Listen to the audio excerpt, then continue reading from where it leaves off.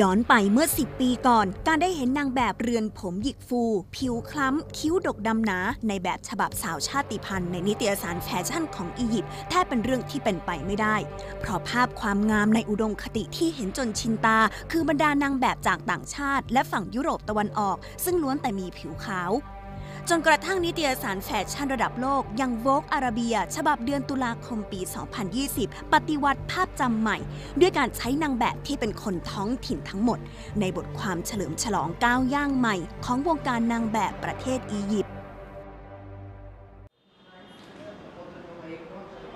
ส่วนสำคัญของความเปลี่ยนแปลงมาจากกลุ่มนางแบบในประเทศที่พยายามสร้างพื้นที่ของความหลากหลาย เพียง 3 ปีมีการกำเนิดขึ้นของโมเดลลิ่งเอเจนซี่ในอียิปต์เพื่อเฟ้นหานางแบบที่มีหน้าตา รูปร่าง และสีผิวที่งดงามตามชาติพันธุ์ ไม่ว่าจะเป็นหญิงสาวอาหรับหรือแอฟริกันเรื่องนี้ส่งผลมาถึงการยอมรับในตัวตนของบรรดาเด็กสาว ที่ไม่เคยเห็นผู้หญิงแบบเดียวกับพวกเธอปรากฏอยู่บนพื้นที่สื่อ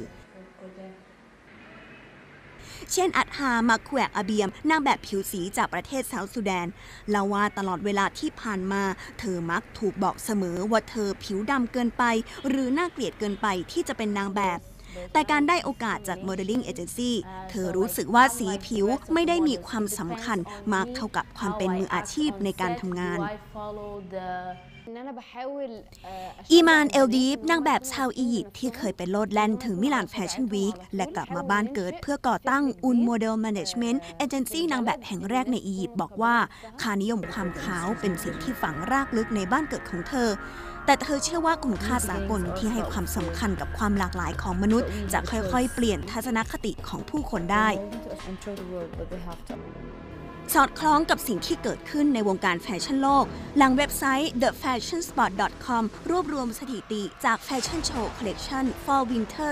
2021 ในนิวยอร์ก ปารีส และลอนดอน